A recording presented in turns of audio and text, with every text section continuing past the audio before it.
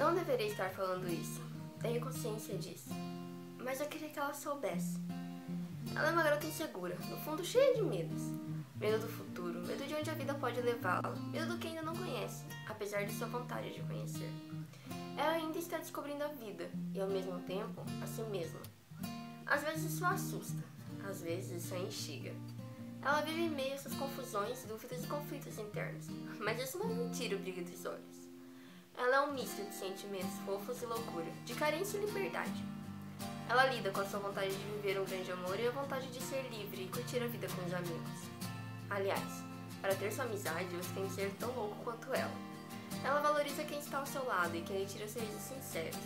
Tudo que ela quer é ser amada de verdade, como ela realmente merece ser. Ela tem um sorriso contagiante, um olhar que admiro. Já me balançou. E um astral, uh, capaz de mudar qualquer ambiente. Como eu sei disso? Bom, eu a conheci por conta de alguns amigos em comum. Não cheguei a conhecê-la a fundo, mas por algum motivo ela me chamou a atenção. Ela me fez bem. Entre conversas aleatórias, ela me contou sobre um amor não recíproco e eu ouvi tudo, me questionando como isso seria possível.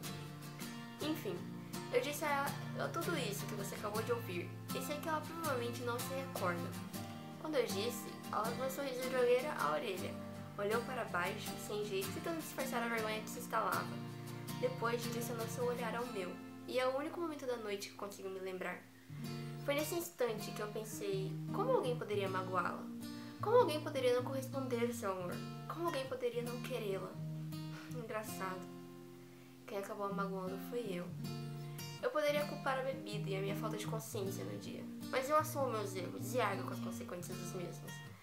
Eu sei que não há nada que eu possa fazer para repará-los, e nem é essa a minha intenção.